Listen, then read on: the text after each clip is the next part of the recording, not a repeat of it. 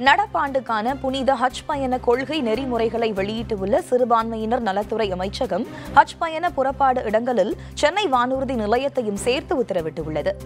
Corona காலகட்டத்தில் ஹஜ் புனித பயணம் செல்வோருக்கான வானூர்தி புறப்பாடு மையங்கள் இருபத்தி ஒன்றிலிருந்து பத்தாக குறைக்கப்பட்டது.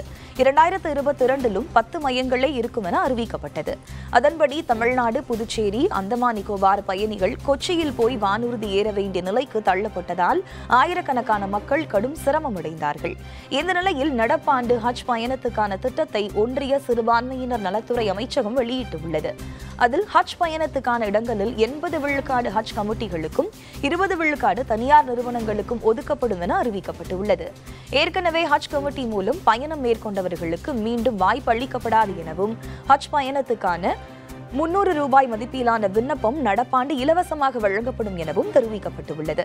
பயணிகளின் திட்ட செலவு மதிப்பீட்டில் ஐம்பதாயிரம் வரை குறைக்க நடவடிக்கை எடுக்கப்பட்டு உள்ளதாகவும் நாற்பத்தி ஐந்து வயதுக்கு மேற்பட்ட பெண் பயணிகளுக்கு துணையாக செல்ல ஆண் இல்லை என்றாலும் அவர்கள் குழுவாக செல்ல அனுமதிக்கப்படுவார்கள் எனவும் அவர்களுக்கு தனியாக தங்கும் இடமளிக்கப்படும் எனவும் சிறுபான்மையினர் நல அமைச்சகம் தெரிவித்துள்ளது.